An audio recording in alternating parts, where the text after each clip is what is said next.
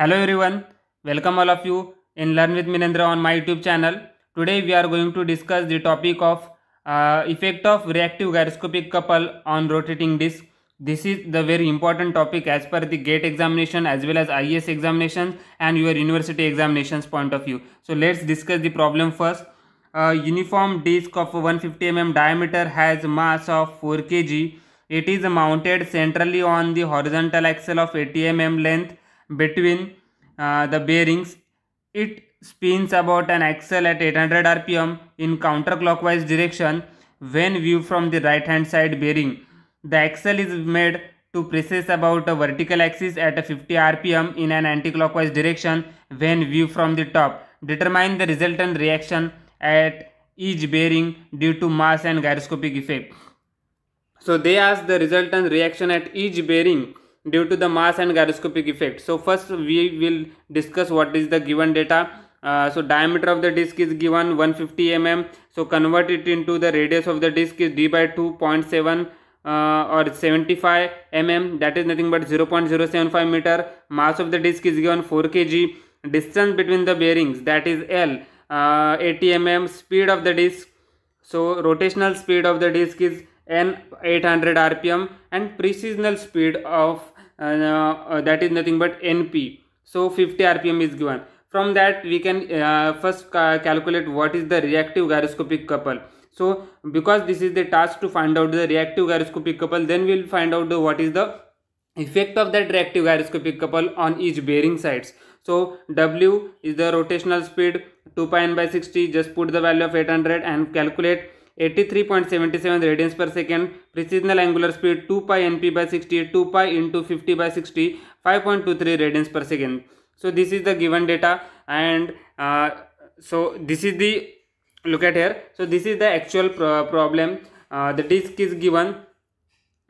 We will discuss this problem in detail. So this disk is given uh, and uh, disk is ro rotating in anticlockwise uh, direction in the axle or in the shaft mounted on that. Uh, and the two bearings at each end. So and you are viewing the disc from the right hand side bearing. So this is the right hand side bearing and the, here it is the observer. And you have to find out what is the reaction at a point this RA and at a point this RB uh, and what is the effect of the reactive gyroscopic couple? So uh, first I would like to tell you that this disc is rotating in anticlockwise direction. Here it is in anticlockwise direction. So your um, spin vector is moving in this direction. Spin vector is moving in outward direction. So reactive gyroscopic couple vector is look like this way. Okay this is your reactive gyroscopic couple. And opposite to that of the reactive here it is the active gyroscopic couple. So there are two uh, ways. This is your reactive and here it is active okay. So what is the effect of that reactive gyroscopic couple this will uh, tends to uh, this will what, what will this cause? It will cause this this force will cause or this is the magnitude of C reactive gyroscopic couple this will cause the uh, bearing B on the upper side. So bearing B will moves on upper side and the bearing A uh, side will goes to the downwards or we can say that uh, B side is going to be raised and A side is going to be downward. So this is the effect. So how uh, we are going to find out this effect? Because of spin vector is moving outward direction. Here it is my spin vector. Um, due to the anticlockwise rotation of the disc spin vector moves outward and uh, your reactive gyroscopic couple is likewise. So this is my reactive gyroscopic couple and opposite to the reactive that is nothing but active. So we will find out what is that effect. Okay so let's discuss the solution here.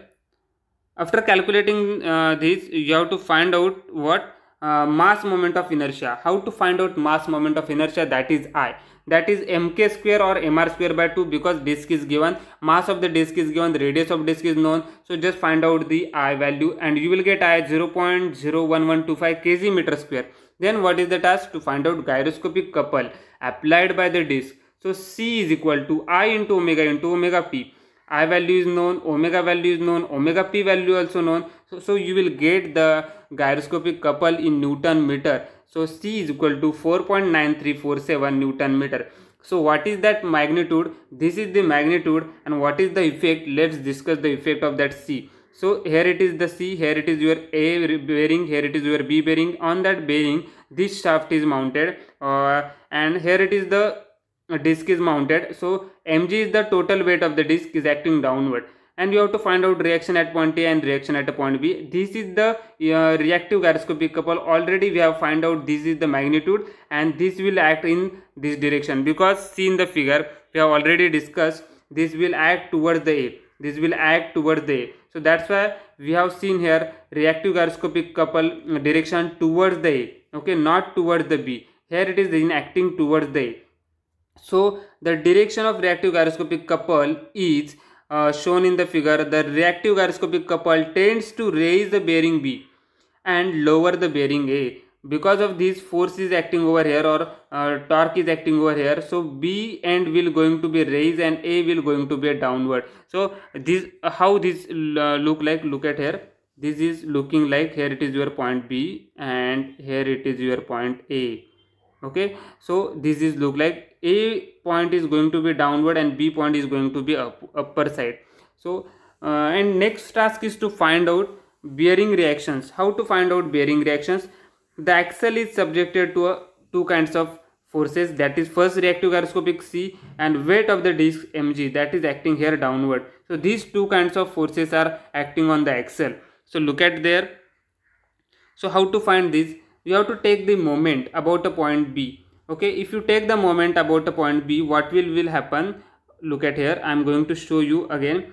You have to take the um, moment about this point b. So ra into 0.08 ra into 0.08 and this is in acting uh, in clockwise direction. So uh, we have seen here we have uh, written here uh, ra into 0.08 and that is in acting uh, clockwise direction so that's why we have taken it is a positive sign. And next what is uh, next is your mg mg is acting downward self weight of the disc into 0.04 uh, taking uh, moment about point b and this is in anti-clockwise direction. So anti-clockwise is uh, we have to take that is a minus uh, okay? So minus mg into 0.04 okay? Clockwise we have taken plus anti-clockwise you have to take minus. And what about c? Let's see c is acting here likewise okay about point b okay. So it is again anti-clockwise. So anti anti-clockwise you have to take you have to take anti-clockwise plus sorry uh, you have to take anti-clockwise is in minus direction because we have taken a clockwise clockwise is a plus okay. So uh, only only two uh, one is ra this is the only one ra is a clockwise. Uh, here it is anti-clockwise. Mg is also anti-clockwise. Okay? Anti-clockwise you have taken a minus sign uh, to find out. Okay? So after finding this uh, ra into 0.08 minus mg into 0.04 that is anti-clockwise minus c is also anti-clockwise. Just put the values mg uh, 4g 9.81 c value already we have find out c value 4.9347 newton. So put there 4.937 9347 newton and you will get ra 81.3 there is nothing but positive value. 81.3 is a positive value and positive force is acting upward side. So there we there have written here upward direction. Now you have to take a moment because rb is unknown. So you have to take a moment about point a and find rb okay first we have to take a moment about point b and find ra then uh, we have to find out the uh, taking the moment about a and find rb so how to take this moment about point a? Look at here. Okay. Uh, this is the uh, force rb rb here it is in. Here it is in. Which direction? It is acting in anti-clockwise direction. So rb into 0.08 look at here what we have take. Rb into 0.08 anti-clockwise here we have taken a plus. Okay so you have to take clockwise minus. Okay clockwise minus. So mg look at their mg mg into this 0.04 and it is a clockwise. So you have to take this is in minus because you have taken anti-clockwise plus. So you will get uh, look here you will get mg into 0.04 and that is a clockwise nothing but minus. And now you have to look about the c. C is acting here this is again which direction? This is anti-clockwise direction. So anti-clockwise we have to take plus okay? So plus c. You can take any sign conventions. From any sign convention you will get these answers. And after putting the values you will get rb as minus 42.06 newton. Minus sign indicates this is acting in downward direction. So your point taking moment about point a and this force is acting in now downward direction okay so minus 42.06 and all about the uh, solutions. So you have to remember these figures uh, how the uh, reactive gyroscopic couple is acting there uh, because the spin vector moves outward because it is uh, rotating in anti-clockwise direction spin vector moves outward and the reactive gyroscopic couple is uh, is moving towards the point a and active is opposite to that of the reactive. So active is moving towards point b. And what is the effect? Effect is going to tend uh, the lower the bearing side A and uh, it's to raise the bearing side B because we have to take the um, direction of uh, reactive gyroscopic couple not active gyroscopic couple. And this omega p is the precessional axis. About the y axis it is going to be precise. Okay? So it is a very easy problem. And uh, here it is a problem statement. Again i have uploaded here this problem statement.